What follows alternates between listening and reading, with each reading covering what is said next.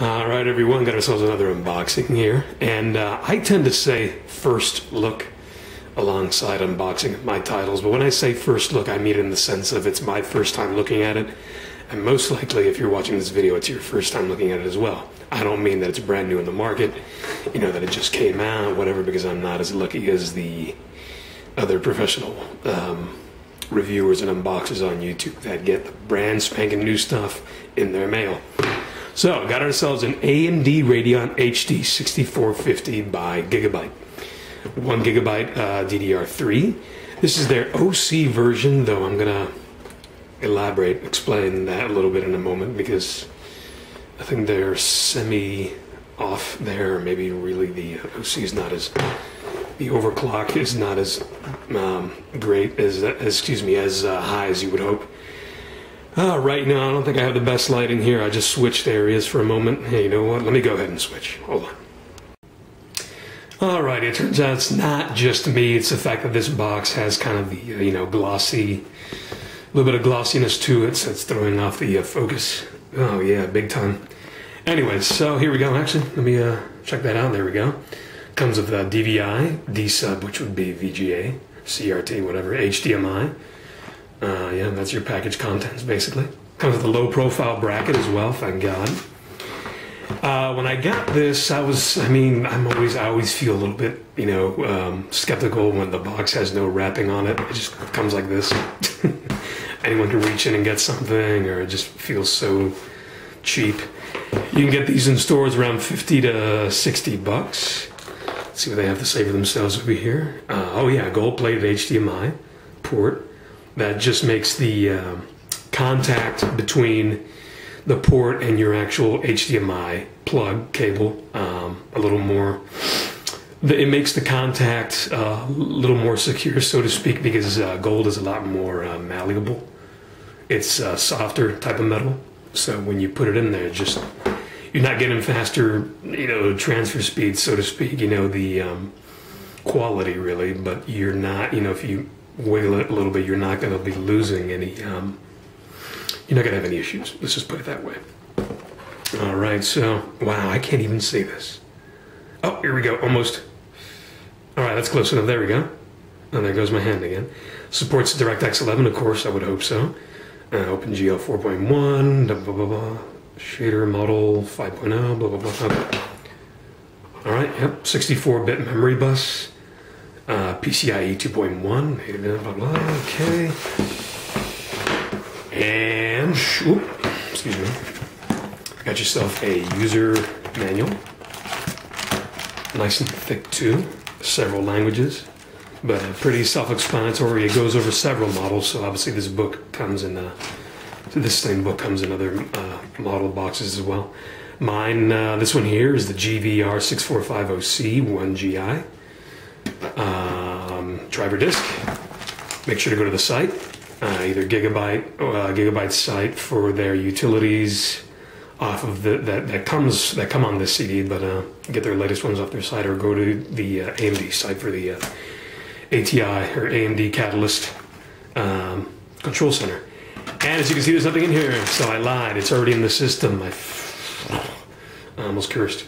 There's your low profile bracket using an HTPC or small form factor uh, case. That's nice. And they all came with little covers for the actual interfaces. So I'm going to go ahead and show you the uh, card and the system in a moment. Stick around. Alrighty, so here we have the card itself. Got your uh, PCI 16X, uh, PCIe 16X interface right there. A little puny fan, but it's not that loud. Uh, let me show you the back. Got our VGA, HDMI, DVI. Left the uh, covers there just just because I'm not using them anyways. Oh, let me see. Show you the back here of the PCB. Kind of a lot going on there actually. You can see right there in the center, that's where the GPU is. Got some memory modules right there. Nice blue PCB made in China. Lovely. And that is pretty much it.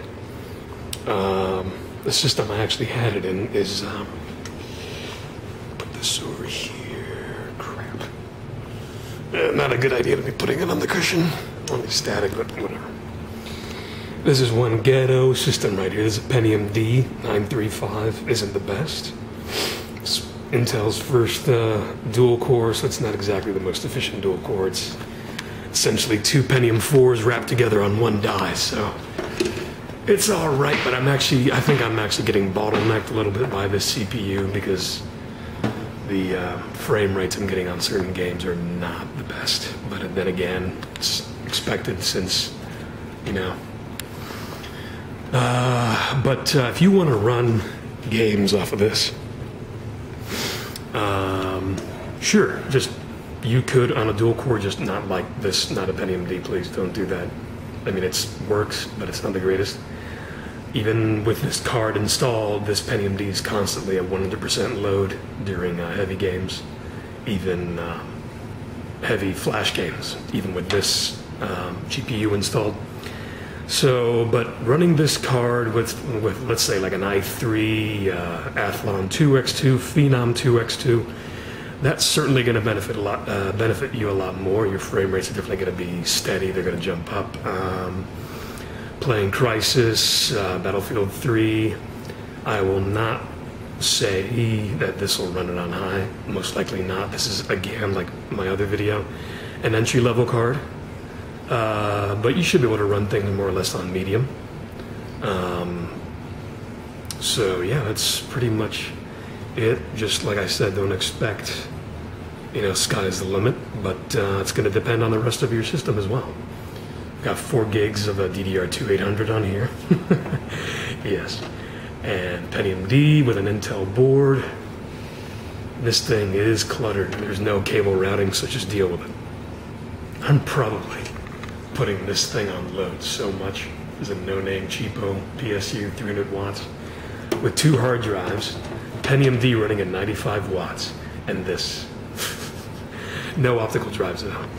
This is running as my uh, uh, more recent HTPC. I had a smaller case running an AMD Athlon single core before, but uh, I got this Pentium D for free, so I figured why not. it's, it's got to be at least you know five percent, five percent better than the uh, Athlon single core uh, from my other HTPC, and it kind of is. So whatever.